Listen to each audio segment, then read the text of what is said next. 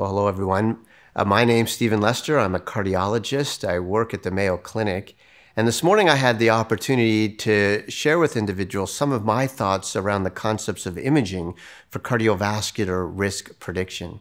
It's quite amazing to think that the disease that's most likely to cause morbidity and mortality for all of us is really cardiovascular disease. And our risk of dying from cardiovascular disease is greater than the next four most common diseases combined, including cancer. And so our goal really is to try to identify individuals who are really at risk and to work in constructing a shield, a really powerful shield to try to protect individuals from having vascular disease events. I look at that shield, I think of a number of component pieces to that.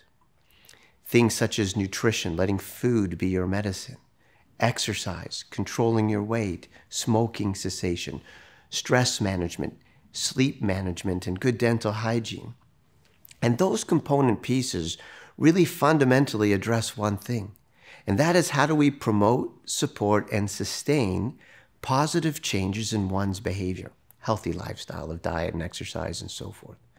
But then there's another piece to this shield, which I call knowing your numbers. What's your blood pressure? What's your blood cholesterol? What's your blood sugar? And do we need to embark on additional pharmacotherapies to mitigate risk? And in doing that, we need to better be able to stratify an individual's risk. And when we use the words risk stratification, by definition, that's imprecise, meaning some individuals may stratify into a very high risk. Maybe they smoke two packs of cigarettes per day and have diabetes and a positive family history, but they may never have an event. And then low risk people, vegan, marathon running individuals, they may have cardiovascular disease events. And so, how do we further stratify risk? Well, what the American Heart Association, the American College of Cardiologists, and others suggest is that we do these multivariate population based risk prediction models where we plug in a number of independent risk factors. Do you smoke? What's your age? What's your gender? And it goes into this algorithm and it spits out a 10 year risk of having a cardiovascular disease event.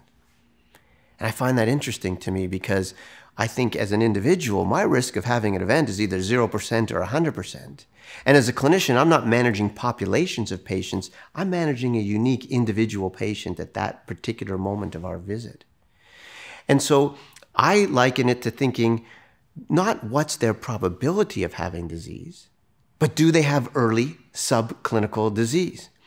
I mean, when we think about cancer, for example, we don't say what's your probability of colon cancer or breast cancer or prostate cancer. I mean, now I calculate my age as to the next time I have to have this colonoscopy, which I'm not looking forward to. Every time I go to see the doctor and they put on the rubber glove, now I get nervous. And for you know women, it's not the probability of breast cancer. We do mammography and pap smears and so forth. And for cardiovascular disease, to me, the eye, the vision to the potential of disease is this concept of imaging for risk prediction. Not what's your probability of the disease, but actually, do you have early subclinical disease? And when present and identified, does this help you to promote, support, and sustain positive changes in your behavior?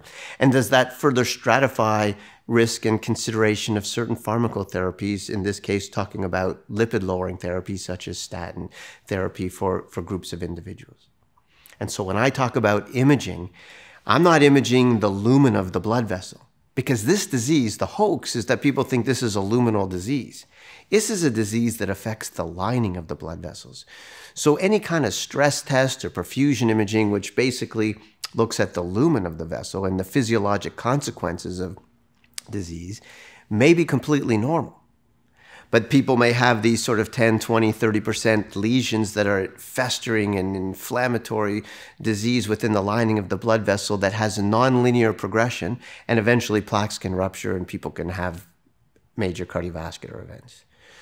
And so when we talk about imaging, it's either CT scanning and particularly looking for coronary calcification or ultrasound based examinations, either of the carotid arteries or the femoral arteries, really looking for the presence or absence of plaque. And amazingly, that when we evaluate individuals that have low population based risk prediction scores, pool cohort scores, and we either do CT calcium score or carotid artery ultrasound, an overwhelming number of patients based on what screening test we use, we will find high risk features, plaque in the carotid arteries or a calcium score that's elevated over, say, about even just one. And when we do that, this helps to further stratify an individual's risk and works in the discussion, disclosure, and shared decision making with our individual patients as to certainly we always want to promote positive changes in behavior, but should you embark on additional pharmacotherapies?